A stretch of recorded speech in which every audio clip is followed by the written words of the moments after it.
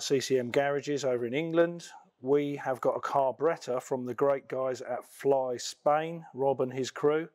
We're going to have a quick look inside one of these today and see how to use a refurb kit. The kit comes from Walbro. Lots of people sell that kit. I think you can see it there. It's got all sorts of bits in there. We're not going to need all of the bits. We'll um, go through the bits as we do this video and see what we need and what we don't. Um, the reason we are taking this carb apart and refurbing it is because the diaphragms inside have got a bit weak. This carburettor is about a year old, I think, maybe, maybe a little bit more.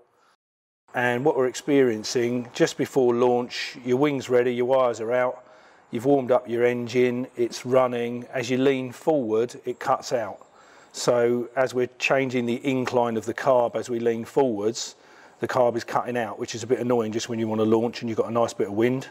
So we're going to have a look and see why and um, how to just do the refurb job on one of these carbs. Um, broadly, two sides that we're going to deal with. That side where you've got your little bleeder and the other side in there where the diaphragms are.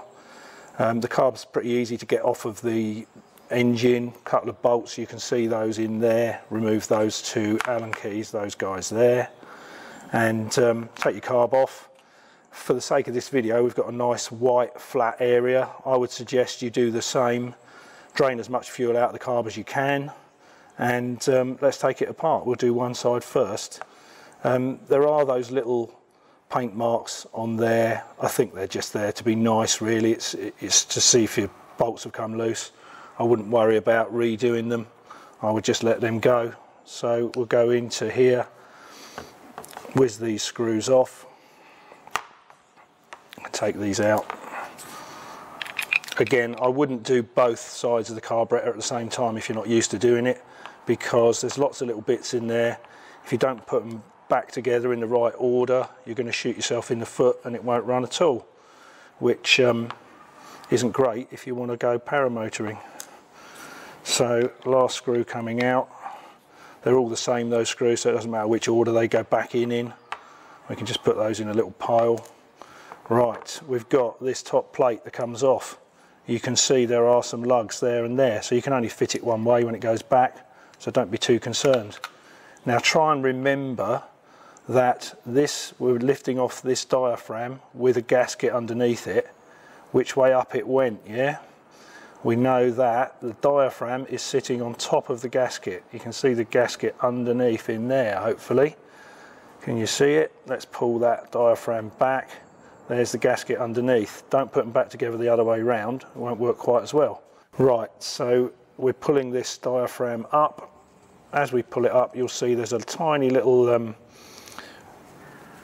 noggle on there. I don't know what they call that really, retaining clip. That fits onto that little bird's mouth there. When we're putting that back together, I don't know if we can really see that, but you'll have to slide that on there very carefully when you put it back together. Just make sure it's caught on there. So let's take that away let's just quickly look at this old diaphragm here. I don't know if it will come through very well on the um, video, but you can see it's kind of a bit saggy and baggy.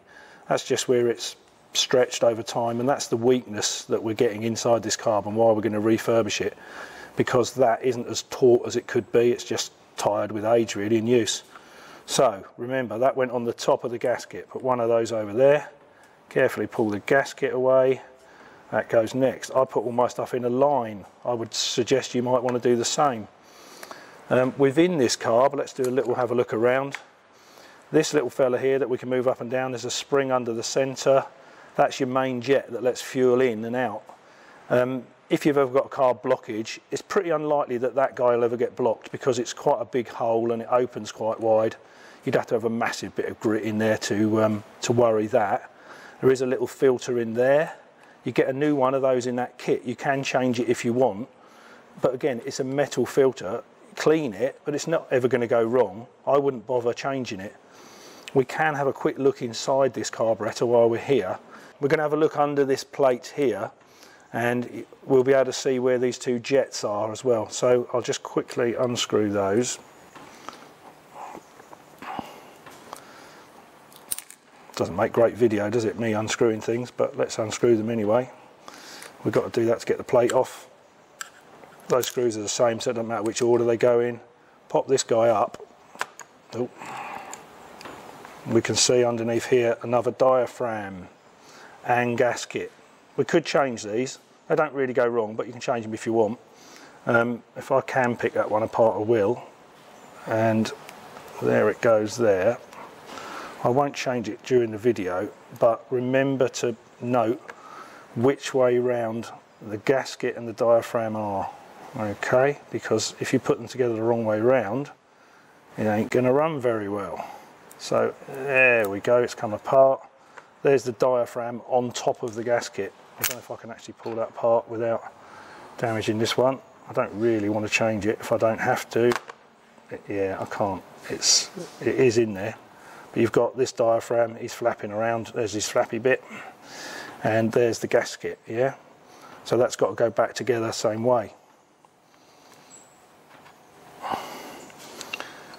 Leave that there for a minute in here we can actually see if the light allows us the end of the jets so that big one with a tamper um, cover on the screw that's your fast idle jet that really because again at fast idle there's plenty of fuel coming through there it's never going to block your idle jet is this little guy here we can take him out if we want to we just unscrew him oh and uh, we could clean in there if you've ever got a little blockage an idle problem that could be in there.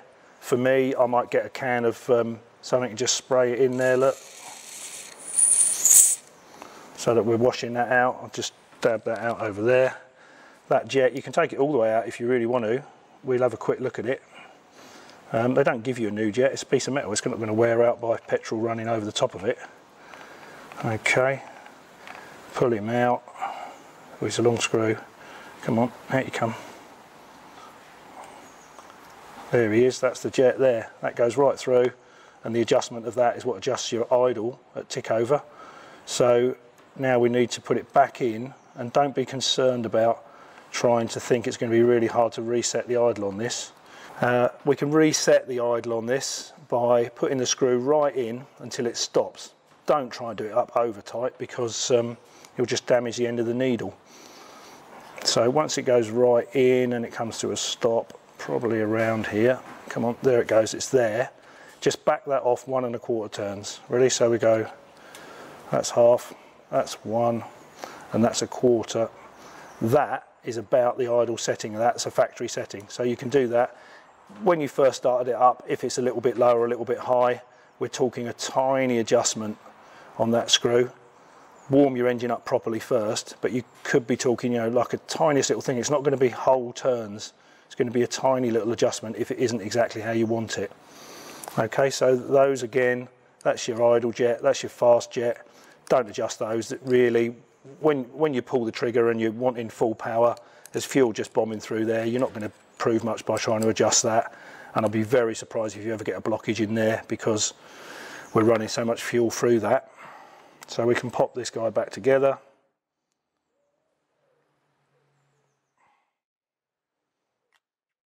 There's that little filter there from the other side. If you did have any debris in there, let me just point it out, you could just jet that out quickly now and clean that. Pop that back in. That's going together. Pop the screws on.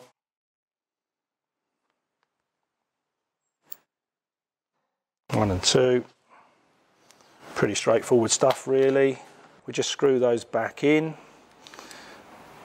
Do them up tight, but don't try and over tighten them. You don't have to be He-Man. It's a carburetor not a industrial building or something like that. I'm a bit shaky, probably too many beers last night. Now we've got that together. Remember we know which way we put our parts in order. I'm going to put a new gasket on. The gasket goes first. It's got locator lugs on it so it only fits one way. There's the gasket. We've got our new diaphragm here which looks I'll, I'll hold the old one next to it. I don't know if you'll be able to see the difference or not. If I could pick them up with help. Um, I don't know, you can sort of see one's a bit more baggy and one's nice. Okay, so this is our new one. We've got that little locating lug to fit in there. I'll uh, try and do that so you can see me fitting it in there. Hopefully from that angle you can see it. It's caught on there, I can feel it's caught. So I can do that rotate the old guy around to be the right way. that back in the middle. Very delicate, isn't it? So that's on there, that's lovely. We know where our jets are, we know where that diaphragm goes. On with the top. Make sure the locator lugs are good. I can put the screws in. I'll just locate one in and then we'll probably pause this video so that you don't have to watch me putting four screws into four holes, which is not very exciting. Okay, so our screws are back in. That's good. Let's have a look at the other side.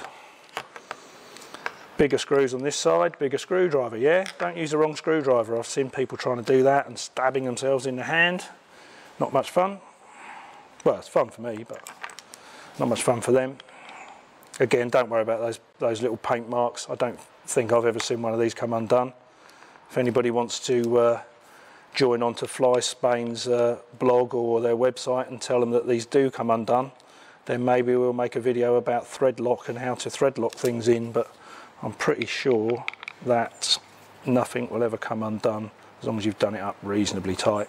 Again, don't over tighten it, it's not an industrial building. So we're taking this side apart. Let's make sure we know what we're taking apart. Open that one we can see now this gasket is on the top, the diaphragm is underneath.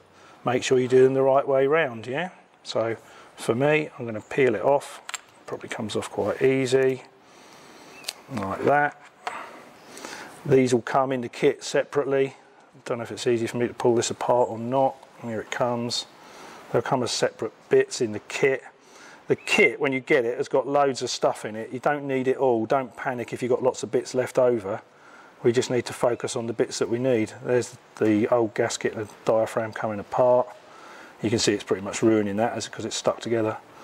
Okay, so I know that it went in that order. Okay, so I'm going to put my, remember, my diaphragm first, then my gasket. So I've got a new diaphragm. Well, let's have a look at that diaphragm quickly. Can you see in the light, it's just a bit saggy. So this diaphragm effectively is a fuel pump you can prime the, the carburettor by either blowing or your, or your kit's got a primer on it and get fuel into the carburettor. But when the, the thing, the engine is running, we get, we're using crankcase pressure coming up into the carb to flap this diaphragm in order to pump fuel through so that we can jet it into the engine.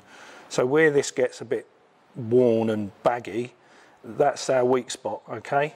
This carb won't, it hasn't got any rubbish in it, it's not blocked. It's just that this is a bit tired. So it will run, but not as well as it could. If you want to, while you're here, you could get, you know, any sort of carb cleaner, brake cleaner, anything. Just jet those out if you want to.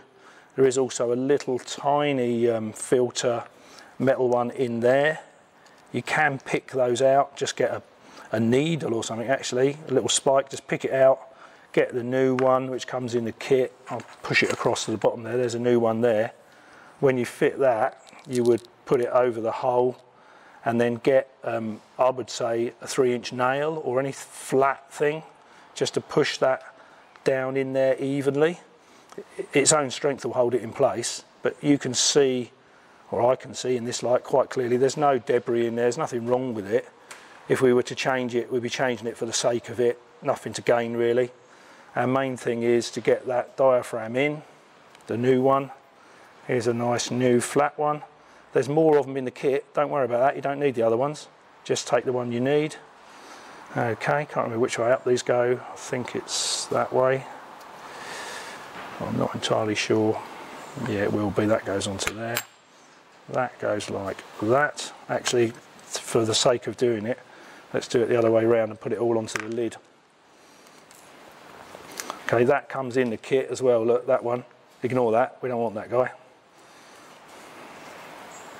pop that gasket on there, pop that diaphragm over the top. It's got locating lugs on it actually, so you can't get it around the wrong way.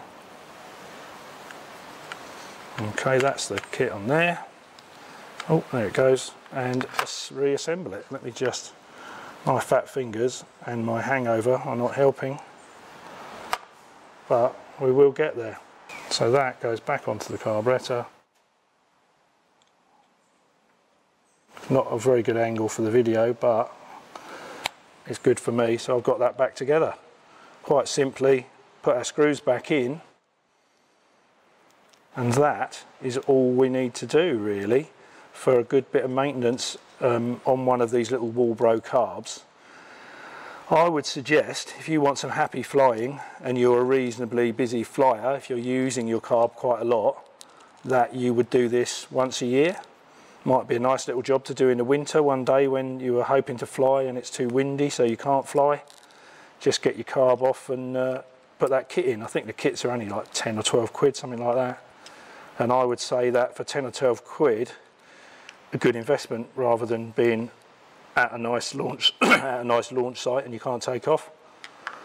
Within the kit there are a few other bits that uh, are kicking around so there's a new little um, needle lifter in there. There's that spare gasket we don't need. There's one of those filters. There's some other blanking plugs.